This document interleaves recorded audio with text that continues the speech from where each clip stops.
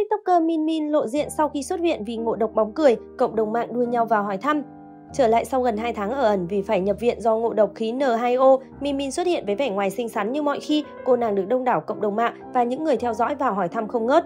Theo thông tin được cập nhật trên mạng xã hội, nữ TikToker đã được xuất viện vào giữa tháng 8. Đến 15 tháng 8, Minh Minh đăng tải đoạn clip đu chen thu hút sự quan tâm lớn. Tuy nhiên, thay vì dành lời khen thì đa phần netizen lại bày tỏ sự ngán ngẩm từ một cô gái luôn xây dựng hình ảnh trẻ trung, năng động. Giờ đây khi vướng vào ồn ào sử dụng chất kích thích thì việc bị quay xe là điều dễ hiểu. Trước đó, Long Chun cũng có bài đăng liên quan đến vụ việc này. Trên trang cá nhân, anh gọi nữ tiktoker dùng bóng cười là ngáo và tệ nạn. Long Chun viết, đến ạ à, mấy mẹ hút bóng cười nhập viện, xong còn lên livestream mặt vẫn còn ngáo, bị làm sao ý nhỉ? Tầm quan trọng của việc giáo dục nhân cách nằm ở đấy. Thế là lại góp cho cái mâm tiktoker thêm một ít mùi, nghĩ mà nản. Sinh ra trong một gia đình và con phố đầy tệ nạn, mình thật sự rất thương những người làm cha làm mẹ khi con cái của họ sa ngã vào những tệ nạn, bất lực, đau khổ, bế tắc. Ngay trong phần bình luận bên dưới đoạn clip mà cô nàng vừa đăng tải, rất nhanh đã chật kín các comment của netizen. Quá thất vọng, dùng bóng cười bị ngộ độc có lên livestream tâm sự mỏng, giờ đây đăng clip cười tươi như chưa có chuyện gì xảy ra. Người ta nói tốt khoe xấu che, bị bệnh liên quan đến mấy thứ này thì nên im lặng hay vì cứ tộc mạch như vậy. Có vẻ bạn này khá tự hào nhỉ, mong nhận được sự thương cảm nhưng cuối cùng lại bị chỉ trích. Thế hệ trẻ bây giờ ăn chơi quá, không nghĩ đến hậu quả, như bạn này thì mình không biết nói gì nữa.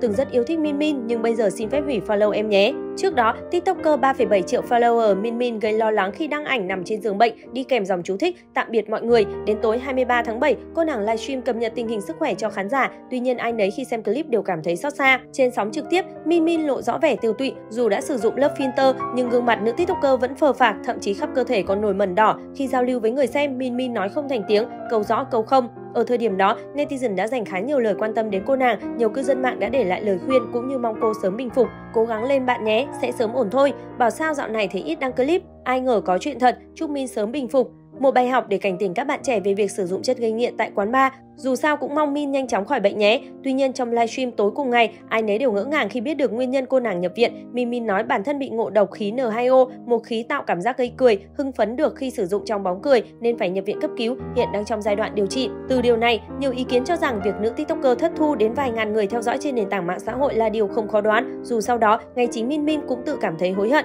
vậy nên cô đã gửi lời xin lỗi đến những người luôn yêu quý, quan tâm mình suốt thời gian qua. Trên trang cá nhân, Min Min viết: "Mình đang cố gắng để chữa trị rồi, mình xin xin lỗi." Thế nhưng phần lớn cộng đồng mạng vẫn tỏ ra ngán ngẩm với cô nàng. Min Min tên thật là Trần Minh Nghĩa, sinh năm 2002, là một nhà sáng tạo nội dung nổi tiếng trên TikTok. Vì luôn là người đón đầu các xu hướng nên hầu hết các clip do cô nàng đăng tải đều thu hút lượng lớn người xem. Hiện tại, Min Min đang tập trung cho việc điều trị và ít đăng tải clip trên TikTok hơn so với trước kia. Cô cũng gửi lời cảm ơn đến khán giả đã hỏi thăm động viên mình.